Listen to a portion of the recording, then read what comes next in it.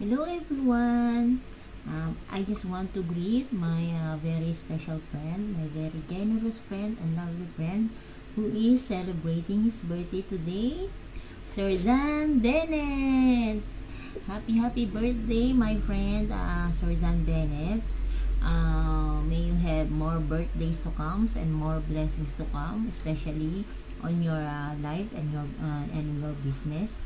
Um, I just want to say, uh, I just want to take this opportunity also to, to say uh, thank you so much.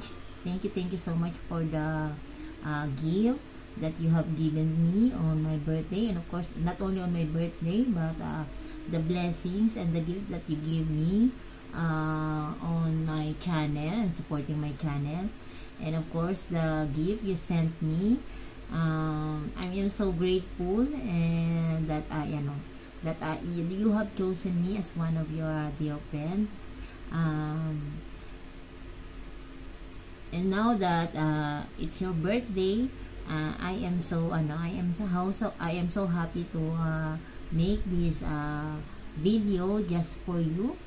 Hope you like it and hope you uh, and hope I I make you happy uh, because of this and ano and I don't know what to say, uh, but uh, still, uh, again, uh, happy, happy birthday to you.